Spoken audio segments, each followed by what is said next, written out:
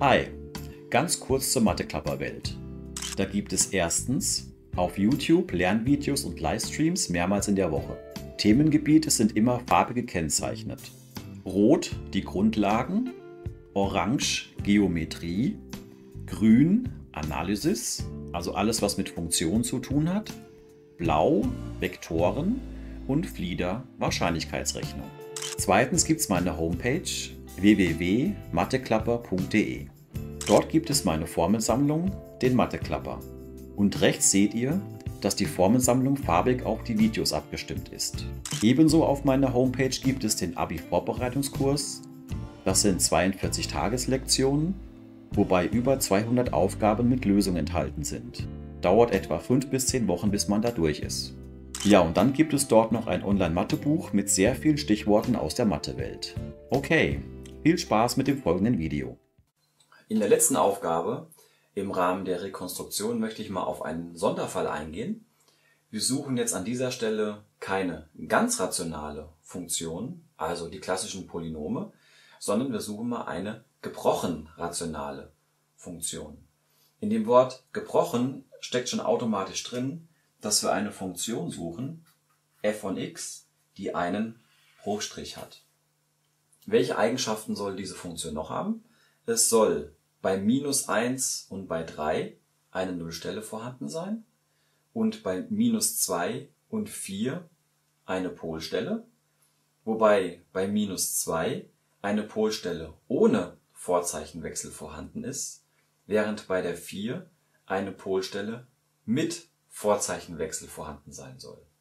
Schauen wir uns das doch gleich mal in dem Koordinatensystem an, wie so eine Funktion aussehen könnte.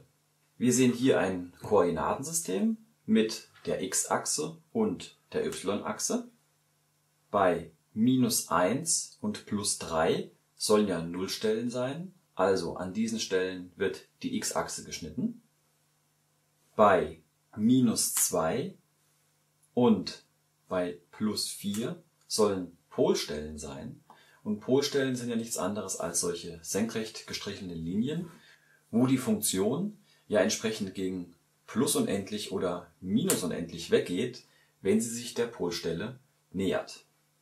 So, jetzt müssen wir die Funktion zeichnen und dabei entsprechend beachten, welche Informationen wir jetzt noch nicht verarbeitet haben, nämlich bei minus 2 soll eine Polstelle sein ohne Vorzeichenwechsel und bei 4 eine mit Vorzeichenwechsel. Wie ist das gemeint? Ich habe dazu die Funktion schon mal eingezeichnet, also hier das Blaue, was jetzt gerade erschienen ist. Und jetzt schauen wir nochmal genau bei der minus 2 diese Polstelle. Das soll eine Polstelle sein ohne Vorzeichenwechsel. Warum ohne Vorzeichenwechsel?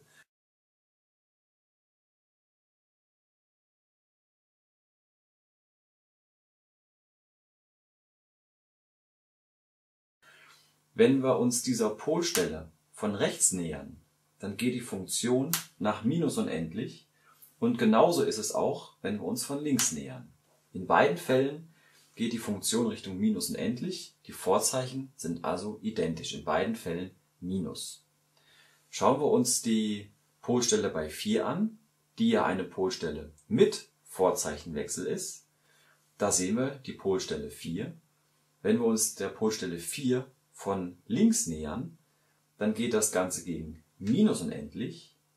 Nähern wir uns von rechts, dann geht das Ganze gegen plus unendlich. Wie wir sehen, minus unendlich, plus unendlich, das ist also eine Polstelle mit Vorzeichenwechsel.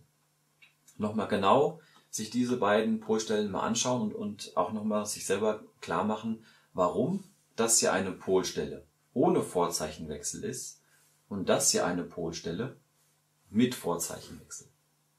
So, jetzt sind wir so weit, dass wir die ganzen Informationen, die wir hier entsprechend äh, über die Funktion haben, in einem Bild haben einfließen lassen.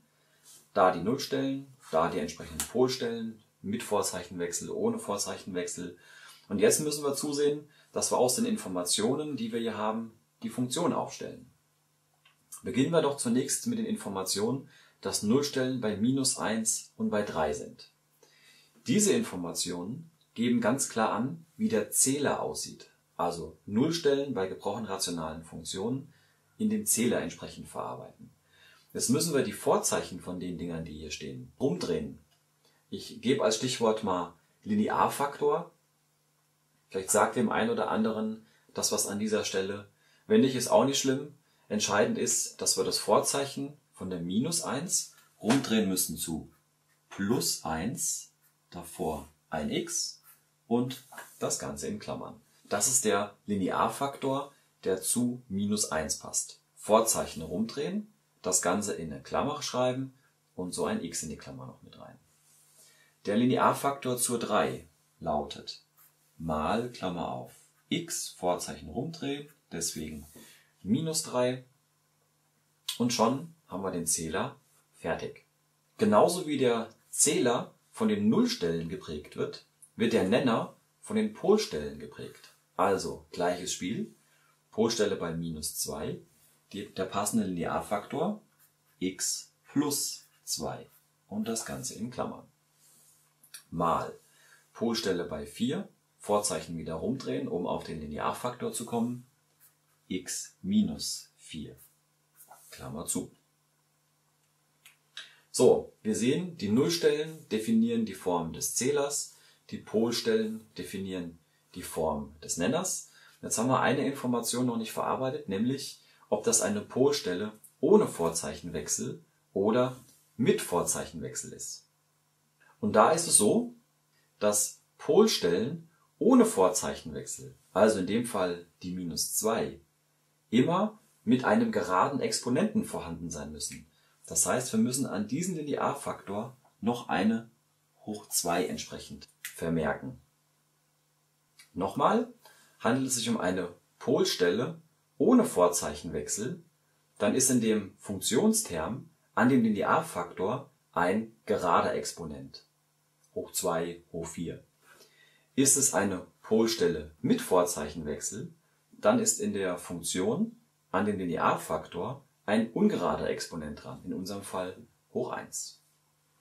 So, und den Funktionsterm, den wir jetzt hier sehen, wo wir praktisch im Zähler auch sofort die Nullstellen ablesen können, im Nenner sofort die Polstellen ablesen können und sogar auch die Information mit rausnehmen können, ob das mit Vorzeichenwechsel, ohne Vorzeichenwechsel ist, lässt man in dieser Form natürlich nicht stehen, sondern man multipliziert die Klammern entsprechend aus und die ganzen Zwischenschritte lasse ich hier an der Stelle mal weg. Aber die fertige Funktion möchte ich doch nochmal aufschreiben. f von x ist gleich. Dann kommt der Bruchstrich und wenn wir die beiden Klammern hier oben im Zähler ausmultiplizieren, erhalten wir x minus 2x minus 3. Und wenn wir hier unten zunächst den Binom entsprechend auflösen, dann das Ergebnis von dem Binom mit x minus 4 mit dieser Klammer entsprechend multiplizieren, erhalten wir x hoch 3 minus 12x minus 16. So, die einzelnen Zwischenschritte könnt ihr ja mal selber von da bis da durchführen. Die Kontrolle habt ihr ja. Ja, ganz kurz nochmal zur Mathe-Klapper-Welt. Hier auf YouTube gibt es ja Filme und Livestreams. Auf www.matheklapper.de gibt es meine Formelsammlung, also den Matheklapper, sowie die Abi-Vorbereitung und das Online-Mathebuch.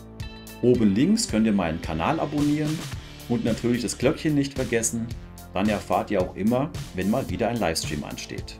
Ja, und oben rechts gibt es eine thematisch passende Videoempfehlung. Danke fürs Zusehen. Ciao.